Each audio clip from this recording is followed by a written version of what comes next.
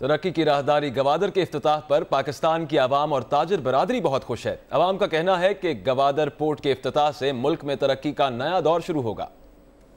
दुश्मन के लिए एक ये मैसेज है ये जो गवादर कोर्ट खुला है ठीक है ना बेरोजगारी को रोज़गार मिलेगा और पाकिस्तान में बहुत अच्छी खुशहाली आएगी। गवादर कोर्ट खुलने से यह है कि गरीबों के लिए फ़ायदा हो जाएगा और जो अमन है वो भी हो जाएगा। ये बहुत ही बड़ी पाकिस्तान के लिए तो अच्छा है ये। रोज़गार भी लेने लगा पाकिस्तान के लिए और हमारे नवाज़ शरीफ की जो कोशिशें हैं बहुत अच्छी हैं और पाकिस्तान के लिए बेस्ट है। मैं ये कहूँगा बहुत ही ज़बरदस्त। आज हमारे मुल्क के लिए एक बहुत बड़ी खुशखबरी की बात है कि गवादर कोर्ट खुल गया है।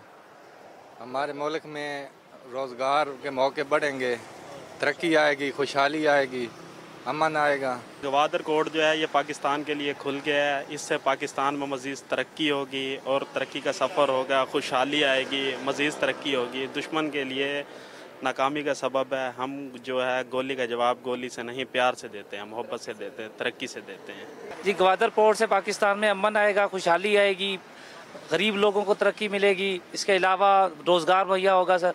और दहशत गर्दी पे की जो लानत है, उसको कंट्रोल करने के लिए हुकूमत इकदाम कर रही है या आर्मी कर रही है, उसको भी इस्लाम मैं समझता हूँ कि पाक आर्मी पाक आर्मी का सबसे बड़ा रोल है इसमें, कि उसने पहले उस इलाके में अमन कायम किया, उसके बाद इस पोर्ट को आज जैसा कि अफ्ताह किया है, मैं समझता हूँ ये सबसे बड़ी और खुशाइन बात है पाकिस्तान के लिए और उन दुश्मनों के भी लिए, जो इस वक्त इस चीज़ को रोकने के लिए बड़े सरगर्म थे। मैं समझता हूँ पाकिस्तान जिंदाबाद, पाक आर्मी पाइंदाबाद। पाकिस्तान से बेरोज़गारी भी ख़त्म होगी ज़्यादातर लोगों को नौकरियाँ वगैरह भी इससे हासिल हो सकती पाक चीन इकतसादी रादारी से खत्े में तरक्की का एक नया दौर शुरू होगा जिससे माशी और दीगर फ़वाद हासिल होंगे। इससे पाकिस्तान में पाकिस्तान के इकतसादी हालात पर बहुत बड़े असर पड़ेगी और हमें उम्मीद है कि पाकिस्तान तरक्की करेगी।